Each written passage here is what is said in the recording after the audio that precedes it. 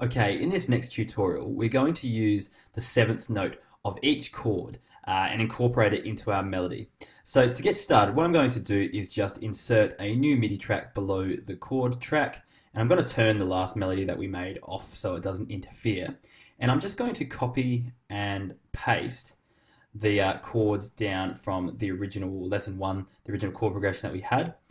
And what I'm going to do just to kind of demonstrate this next section is I'm just going to move all of these chords into root position so you can have a look at how they sit with their first, third and fifth interval on top of each other.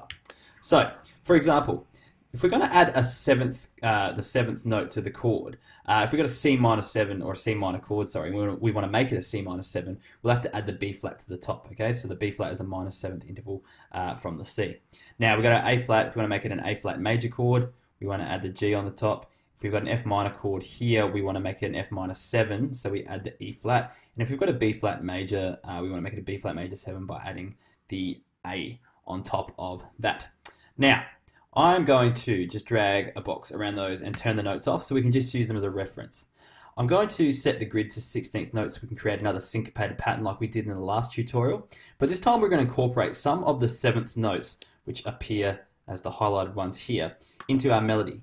Now we're not going to go overboard with them. We're not going to base all our melody on these notes. We're just going to add them uh, randomly uh, to create a little bit of flavor. So let's go ahead and create a melody for this uh, first one. I might just move these all down an octave. So press shift down to move notes up and down an octave, but just move them down so I can actually have a bit more space uh, with these notes away from the chords.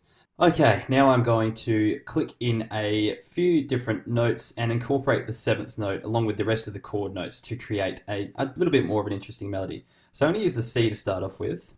Then I'm going to come down to the seventh note here. Uh, I'll come up to the E flat of the chord, back down to the C, and to finish it off, I'll come up to the G and just use a crotchet for this bar. Let's have a listen to the first bit of the melody here. So here we've just got the seventh note, the B flat, to kind of create a bit more interest in the melody, so we're not just using the same three chord notes each time.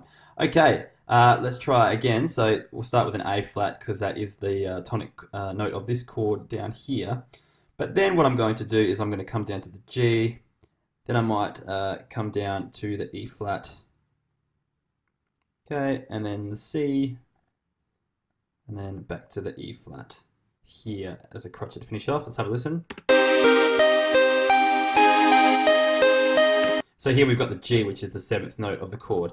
Now, I think that's enough for this melody. Now, your melodies, you might be able to incorporate more seventh notes, but I'm just going to use chord notes for the rest of it because I don't want to go overboard. If you use too many of the seventh note, it becomes to sound a little bit, and it doesn't work with the harmony as well, so you want to actually start using notes that kind of revolve around the tonic of those notes. So let's uh, go down just using more chord notes from the F minor chord here. Uh, I'll come up to the C and then I will go with the A flat again. And then the last note, I'm just going to use the B flat major chord and come down to the F. Oops. Use a couple repeated notes here. Come back down to the F. All right, let's have a listen to this melody here, which incorporates the B flat of the C minor 7 chord and the G of the A flat major 7 chord.